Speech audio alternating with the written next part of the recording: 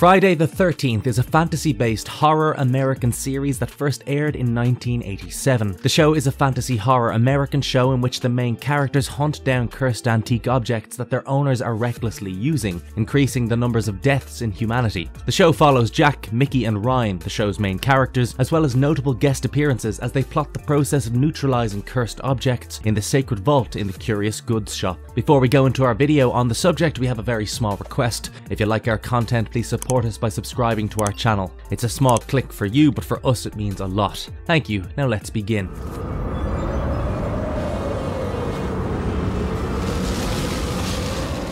crafting the haunting legacy. Larry B. Williams and Frank Mancuso Jr. brought the show to life. Frank is a common denominator in both Friday the 13th TV show and the film series too. The show, originally titled The 13th Hour, was renamed Friday the 13th series so that audiences could relate to the popularity of the film series and expect the same level of excitement from the TV show. The show, which originated in Canada, ran for three seasons, featured 72 episodes, and if you can find it, the show is also known as Friday's Curse. Jason Voorhees the film's main character, doesn't appear in the TV series, so no connection between the two is laid out. We enjoy the show's attention to detail. The opening credits scene is sure to get fans excited as the eerie music begins and we're taken on a stroll through the antique shop. The show begins by setting the audience in motion and narrating the story of the shop's owner, Louis Vendredi, and how in his pursuit of powers, wealth, and immortality, he ended up making a deal with the devil. In exchange for his desires, the devil asked him to sell antique objects, but they appear to be cursed. Not only that, but to fulfill the possessor's desire for the cursed objects, he had to make a human sacrifice, which was the devil's cue.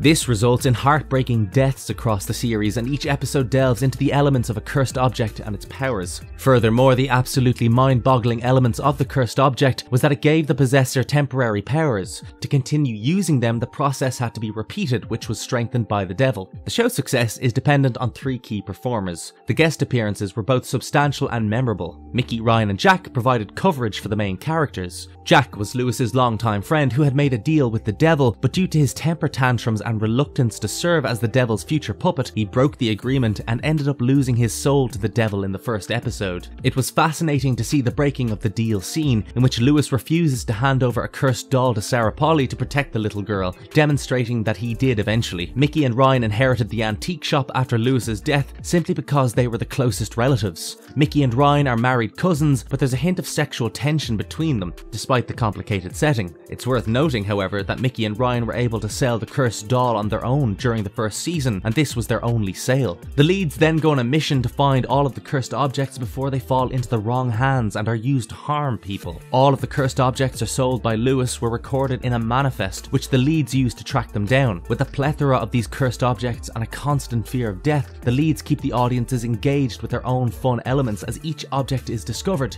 taking them on an emotional and experiential roller coaster. To be completely rendered, the cursed objects must be secured in a vault specifically designed for them in the antique shop curious goods section, as hunting them alone doesn't suffice. Rashid, a mystic and Jack's friend who appeared in the season 1 finale and the second season premiere, was supposed to be on board for a long time, but his role was cut short because he didn't fit in with the three main characters. Rashid was also very knowledgeable about the occult. He consistently outwitted Jack's brilliance. He is the one who helps the leads who are constantly confused by Louis's reappearance as a ghost in the show, as seen in the episode Bottle of Dreams. Though Rashid appears only a few times in the show, his presence is permanent and serves as a guiding force. The character appears in a few episodes, including Vanity's Mirror and Voodoo Mambo. The show concludes with a lightning strike to the title, which disappears, creating its own unique perception. The program was originally scheduled to run for five seasons, but was shortened to three on a whim. According to reports, the cast was so unaware of this situation that filming was halted during the announcement and the episode aired as the season finale. There were also possibilities for a reunion of both the film and TV series in the finale, with the hockey mask remaining with Jason Voorhees, but this didn't come to fruition and only remained a rumour. X-Files and Warehouse 13 are two shows that drew inspiration from the Friday the 13th series and brought incredible storylines to the screen. The show was, however, heavily criticised when it first premiered for its gruesome violence, but it eventually blended in with the viewers' preferences.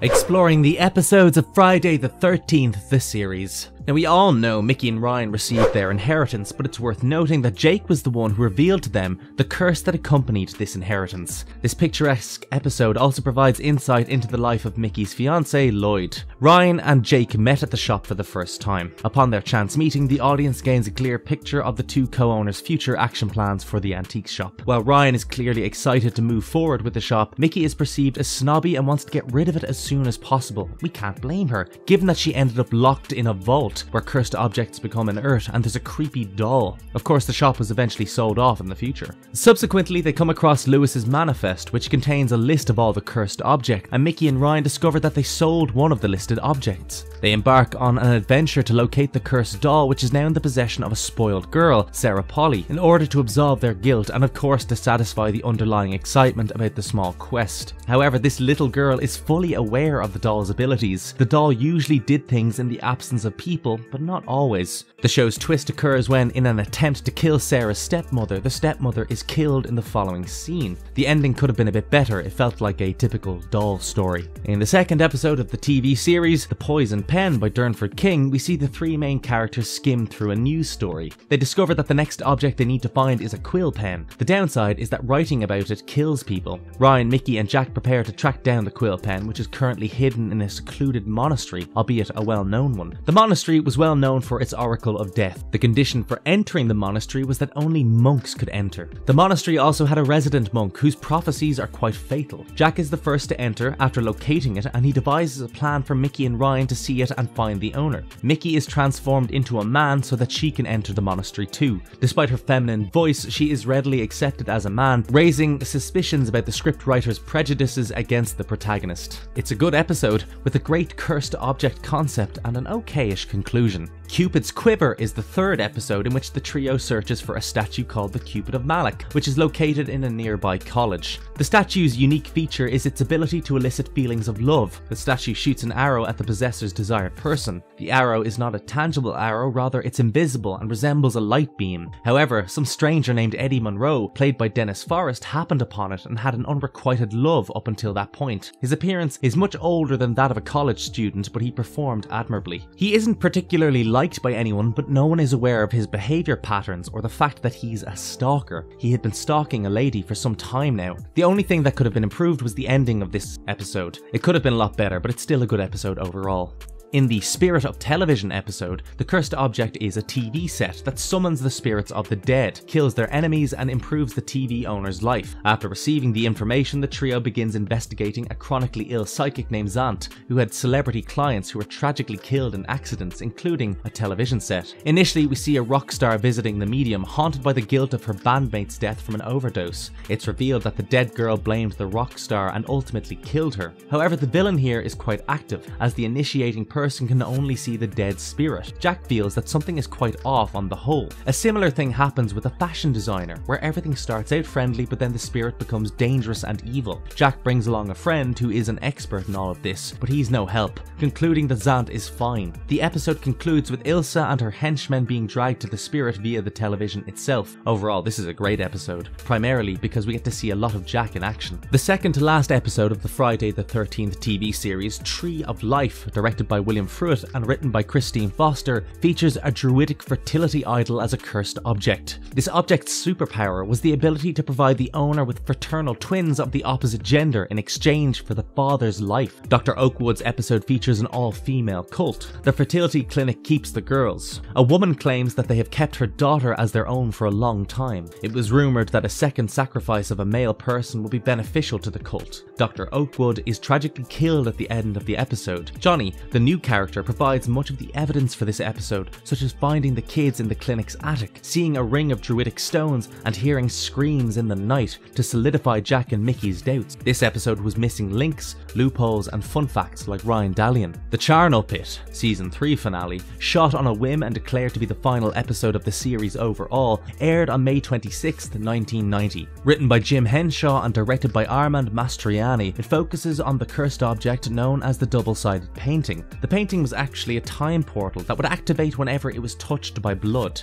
It brings forward the exchange of people from two different timelines. The painting's 20th century side represented life, while the 18th century side represented the past and the sinister world of de Sade. It was Jack and Johnny who figured out why the unidentified woman floating in the river was linked to the double-sided painting. A person who is still alive is transported back in time and a past person is then brought to the present. This episode contains a few erotic scenes, but they're all television friendly and not in the slightest. The Professor and Assad's contrasting personalities, as well as their aging and laziness, are prominent themes in the episode. The episode concludes with the three leads outside the vault, its door closed, and the audience inside the vault, demonstrating that we too are trapped inside.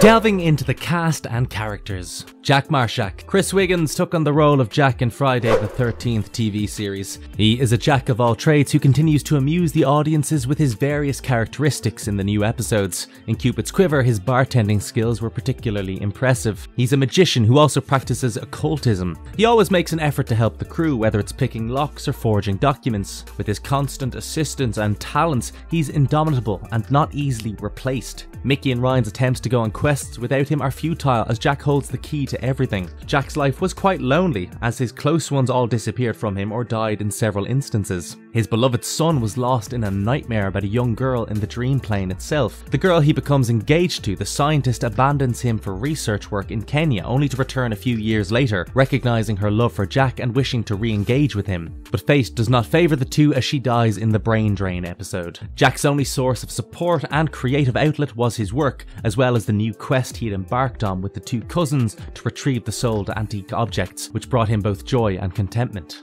Mickey Foster. Louise Robey does an excellent job playing the girl with the 80s hair and clothes. Originally known as Michelle, the inheritor of the antique object store is discovered co-owning the store with her cousin from marriage, Ryan Dallion. Mickey frequently babysits her nephew, JB. She's regarded as a daring character because she ended her engagement to her fiance in pursuit of antique objects. However, one should consider that the decision was simple because Mickey never truly shared love with Lloyd. Mickey's character evolves over time from a shallow person obsessed with herself, her clothes and her demeanour to one with depth, a strong will, and to be honest, a hint of darkness. The episode of Tails I Live, Heads You Die, in which Mickey is killed by a cursed coin but is fortunately revived thanks to the brains of Jack and Ryan who successfully manipulate the antagonist to bring her back to life. Ryan Dallion. Ryan, the co-owner of the antique shop played by John D. LeMay, is quite the character. With the weight of failed ambition on his shoulders, we witness Ryan's vulnerability at the start of the show. He wears his heart on his sleeve as he falls hard for our beautiful 80s Mickey, who, given the current complicated situation, strongly rejects him. A few times at the start of the show, we see Ryan and Mickey disagree about the future operations of the antique store. Ryan succumbs to Mickey's influence and sells the store despite his enthusiasm for renovating it. However, it's clear that they both regret the the decision. They have a soft spot for each other, which is obvious and visible. It's also clear that after Mickey died, Ryan was unable to suppress his feelings for her. It's unfortunate but necessary for the plot that at the start of the final season of the show, Ryan is transformed into a small child in an episode of The Prophecies, and thus his role ends.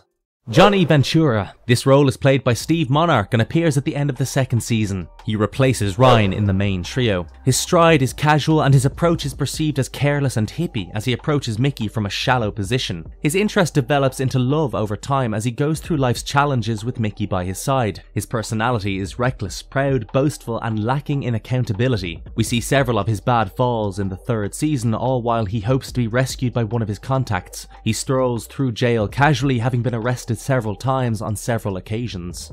Louis Vendredi. Louis is the person who sets the entire plot for the TV series in motion. R.G. Armstrong plays the epic but short-lived character. He had struck a deal with the devil to gain immortality by selling him his soul. It's amazing to know that as we learn later in the Pipe Dream episode about his ability to heal people's wounds, he becomes quite conscientious after refusing to sell the cursed doll to Sarah, a young girl. However, that was the only scene in which we saw Louis's soft side, which is sad. He is a pure evil character and the story's main villain overall. Contrary to the alleged facts, he was also stated to be the leader of the Witches' Coven when he was alive.